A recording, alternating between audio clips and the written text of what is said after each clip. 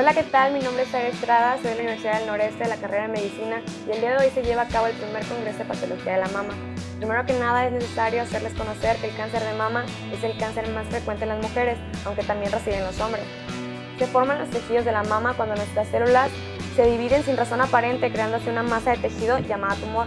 Propiamente dicho, el tumor o una masa que pues es como un bulto en la mama, un cambio de tamaño, puede tener también un cambio de textura o color de mama.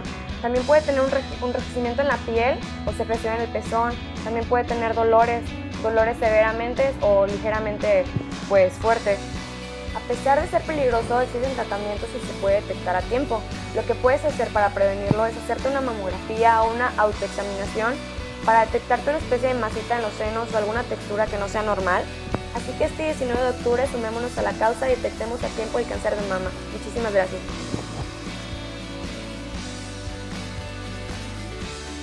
Actitud de cambio. Universidad del Noreste.